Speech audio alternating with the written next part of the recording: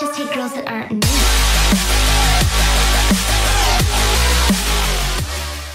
Ja, ja, was du los, Helle, dies wieder der Benny und da haben wir von den Two Epic Buddies. Sim neuen Video von uns und heute haben wir was ganz Spezielles, nämlich ein hammergeiles Gameplay in der Double Nuclear, aber dazu kommen wir gleich und als Hauptthema auch noch dabei.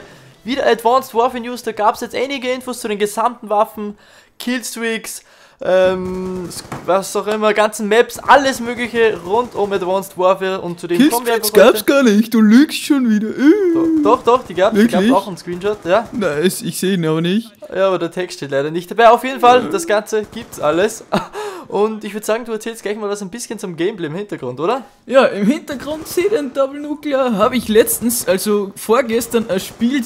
Und ja, ich muss sagen, es geht am PC noch. Es war aber die übelste No-Hand, glaube ich. Also sowas werde ich nie wieder sehen am PC oder generell irgendwer am PC.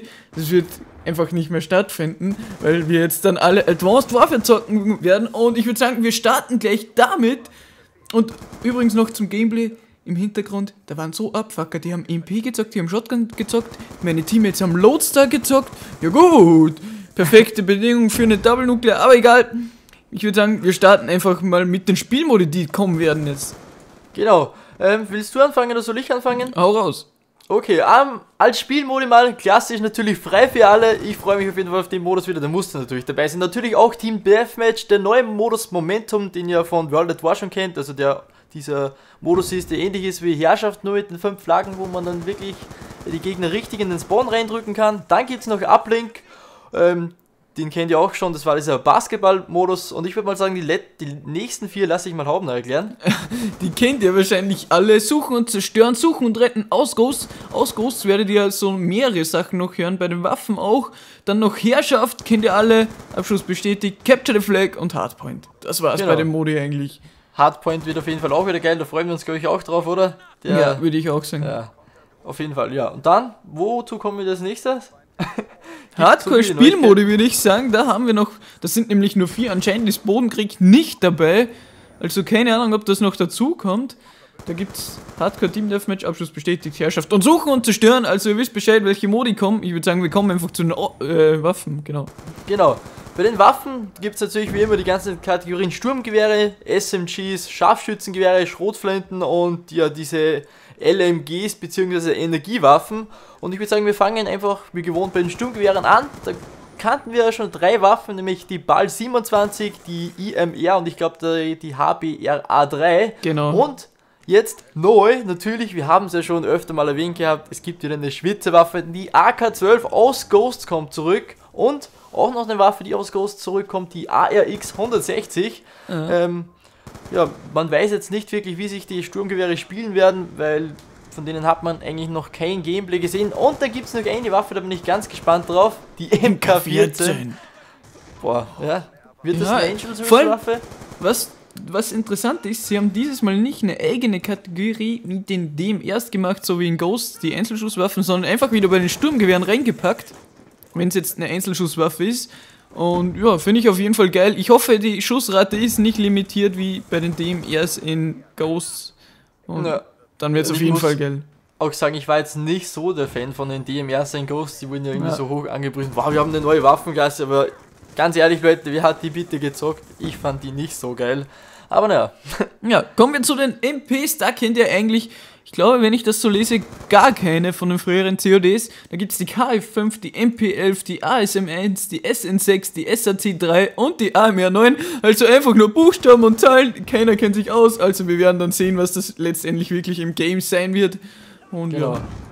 Dann würde ich sagen, kommen wir zu den Scharfschützengewehren, oder? ja. Ja, Da haben wir einerseits mal die Links, die gab es ja auch in Ghosts, dann die Morse. Ich glaube, die Morse war die Sniper, die man ja schon von den Gameplays immer kannte, von Advanced ja Warfare. genau. Und dann kommen noch zwei neue Sniper dazu, nämlich die AA NA45, so rum, und die Atlas 20 mm. Wie gesagt, da können wir jetzt nicht so viel dazu sagen. Ich glaube, 20 mm ist für ein Geschoss richtig klein, weil es gibt da 50, äh, 50 Kaliber ist, glaube ich, eine Barrette oder so. Ja, ist, glaube ich, genau. ein bisschen größer wie 20 mm, oder? Ja, aber du bist der 20 Waffenspezialist. Ich habe keine. Ahnung, 20 mm kommt mir so klein vor, glaube ich. Ja, ja, Obwohl- Fall. 20 mm, warte, 20 mm steht da.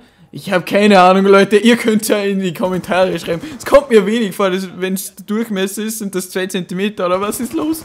Aber egal. Ja. Obwohl, das gar Ja. nicht so klein. Egal, egal, egal. Kommen wir einfach zu den Schrotflinten, würde ich sagen. Jo, genau. Da gibt's die Tag 19. Ähm, die kennt ihr schon, das war diese, wie nennt man das nochmal? Ähm, Die, die, die, die Druckwellen. Druckwellen, Shotgun, Dingsbums, Genau. ihr wisst Bescheid. Dann haben wir noch die S12 aus Black Ops 2, vielleicht, vielleicht spielt sich die so ähnlich. Und Ja, die Bulldog aus Ghost, man weiß es nicht. Ich bin mal gespannt, wie sehr die die Waffen verändert haben, weil ja Advanced Warfare wirklich richtig weit in der Zukunft spielt, im Gegensatz zu Ghosts oder zu Black Ops 2 noch. Und ich, ich bin wirklich gespannt, wie die die Waffen geändert haben. Also ob es wirklich jetzt komplett neue Waffen sind oder eher so auf der Vergangenheit basieren, bin ich gespannt. Genau. Ja, dann, Dann- kommen wir zu den schweren Waffen und Energiewaffen. Da kennt ihr eine bestimmt schon, die EM1. Das, da gibt's, also das ist die Laserwaffe, der Vorbestellerbonus mit der EM1 Quantum oder so. Dann gibt es noch eine Pythek, keine Ahnung was das ist. Dann gibt es die XMG, das war die, die man auch zocken konnte, glaube ich. Die wir schon Genau. gezockt haben, die Akimbo-Style-Ding. Genau. Dann noch die EPM3 und die Amelie aus Ghosts. Ja, die Frage ist, wie die Waffen dann wirklich übernommen worden sind von den alten Spielen, ob das jetzt wirklich komplett neue Sachen sind oder eher so auf der Vergangenheit basieren. Ja, genau. Und ja, was haben wir noch? Wir haben noch die Exo-Fähigkeiten. Ähm, da gibt es eigentlich die altbekannten, die wir schon vorgestellt haben. Es kommt nur eine dazu, nämlich Exo-Mute. Ähm, ist im Prinzip wie äh, Totenstill, nur man kann diese Fähigkeit einfach nur 30 Sekunden, glaube ich, einsetzen. Ja. Und einmal pro Leben natürlich. Das heißt, man muss sich in Zukunft überlegen, wenn man wirklich diese ja, Dead Silence Fähigkeit einsetzt. Und ja, Ja, dann Dann- können wir jetzt kurz die Maps erwähnen, Die werden euch wahrscheinlich nicht sagen, weil ja, wir haben keine Bilder oder dürften die auch nicht mal einblenden, wenn wir welche hätten. Also Ascent gibt's da Biolab, Comeback, Defender, Detroit, Green Band, Horizon, Instinct, Recovery, Retreat, Riot, Solar und Terrace. Und ja, das war's eigentlich zu den Multiplayer-Karten. Also einige habt ihr davon sicher schon gesehen, wie Biolab, Defender oder Defender. Und ja, Genau. was, was gab's noch? Ascent gab's noch oder Ascent oder wie auch immer. Ja. Englisch gut, wisst Bescheid. Ich würde sagen, wir kommen einfach weiter zu den nächsten Sachen. ähm, Was haben wir noch? Was haben wir noch? Eine gute Frage. Wir hätten eigentlich noch die Score-Streaks, aber die Bilder wurden leider alle jetzt runtergenommen. Und ich bin jetzt eigentlich schon die letzten paar Minuten verzweifelt am Suchen, ob ich irgendwo noch die Score-Streaks finde.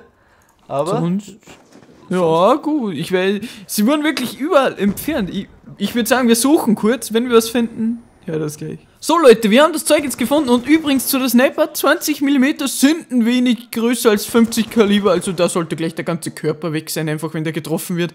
Aber egal, ich würde sagen, wir kommen jetzt einfach zu den Abschussserien. Hau raus. Genau, die erste Abschussserie, die wir haben, ist mit 350 Punkten angesiedelt und ist die Aerial Recon Drone. Ähm, ich bin mir jetzt nicht hundertprozentig, was das ist, aber ich würde mal vermuten, das ist eine Drohne, die nur einen gewissen Radius rund um dich herum angezeigt wird, oder was vermutest Ja, du? vermute ich auch. Ich bin gespannt, wie man die dann erweitern kann, weil man ja die ganzen Streaks erweitern kann. Genau. Und ja. Dann darfst du zunächst, ich würde sagen, wir machen Ja, einfach abwechselnd. UAV, wisst ihr wahrscheinlich schon, was da alles ist. Ähm, das nächste ist die Aerial Assault Drone, also die wird wahrscheinlich den Gegner irgendwie attackieren, vielleicht wie so eine Hunter-Killer-Drohne auf Suizid. Also ich, ich schätze mal, dass das alles erweiterbar ist, dass man da irgendwelche anderen Sachen raufgeben kann auf die Abschussserien, wie bei der Drohne den Orbitalaufsatz und sowas. Genau. Und ja. Dann gibt es mit 500 Punkte äh, das Care Package, kennt man auch, da ist wieder random irgendwas drin und da gibt es ja, wie gesagt, eine Neuerung. Das Paket kann man jetzt nicht mehr selbst irgendwo hinwerfen, sondern das wird automatisch auf eine bestimmte Position gespawnt, in der Nähe natürlich von dir. Aber ja, dann gibt es noch mit 550 Punkten äh, ein Geschütz, Remote Turret heißt das Ganze, kann man natürlich auch alles erweitern mit, keine Ahnung, was man da alles draufpacken kann. Ich glaube, da gibt es sogar eine Lesevariante davon. Und dann was ganz was Neues. Hauptner, was ist das? Ja? Ah, Systemhack mit 600 Punkten, das ist anscheinend, das MP steht zumindest beim Text da. Ja, ob das jetzt gut ist, 600 Punkte oder nicht, naja, naja, mal gespannt, wie lange das dauert, ob man da dann auch wieder mit den erweiterbaren Killstreaks aufsetzen, da dann die Zeit verlängern kann und sowas. Bin ich gespannt. Genau, ich auch. Ja, Ja. dann hau das nächste raus. Das nächste ist ähm, ja, dieser Vulkan, der von oben herabkommt und der quasi so einen Laserstrich zieht, wo man dann ein paar Leute einfach killen kann. Hält nicht lange, aus Erfahrung, kostet 600 Punkte, genauso viel wie der Systemhack. Und ja, dann kommen wir zum nächsten. Äh, Missile Strike, ich würde sagen, das ist eine typische. Ähm, wie Die hat man sogar schon gesehen in dem Trailer. Das ist, wenn er das ah. Tablet, das Unsichtbare, aufklappt und dann im Kreis so die Raketen genau. runterkommen genau. und dann BAM in die Fresse. und ja. Ja, dann als nächstes mit 725 Bo Punkten Bombing Run. Ich vermute mal, das ist irgendwie sowas wie ein äh, präziser Luftanschlag oder wie ein Stealth-Bomber. Mhm. Oder was meinst du? Schätze ich auch. Und als nächstes haben wir dann noch einen XS-1 Goliath. Den kennt ihr schon, das ist der fette Anzug, der Juggernaut oder was auch immer. Und dann als vorletztes gibt es dann noch den Warbird. 58 Punkte kostet der oder braucht man. Und ja, den habt ihr eigentlich auch schon gesehen. Genau. Und jetzt Und zum letzten. Alles letztes noch den Paladin mit 950 Punkten und habt ihr glaube ich auch schon gesehen irgendwo. Und was mir gerade noch aufgefallen ist, es gibt keinen Schwarm. Wo ist der Schwarm? Vielleicht kann man ja diese Aerial Assault Drone so um, umfunktionieren bzw. aufrüsten, dass das ein Schwarm wird. Ich weiß es nicht. Hm, ja, ja. ja, kann sein. Wäre geil. Ja, wäre ja. auf jeden Fall geil. Zehn Tage noch! ich würde sagen, das war's aber eigentlich mit den ganzen Sachen. Jetzt wisst ihr Bescheid, was so auf euch zukommt von den Waffen, von den Maps, von den Modi, von den Fertigkeiten, von den ganzen Killstreaks und alles Mögliche. Und ja, ich hoffe, das Gameplay im Hintergrund hat dir gefallen. Benny, hast du noch was? Ich habe nichts mehr, nee. Ja, dann würde ich sagen, wenn euch auf Advanced Waffe genauso wie wir freut, dann brennt mal wieder den Like-Button ab. Und wir sind behindert, wissen wir. Danke. Haut rein. Ciao. Ciao.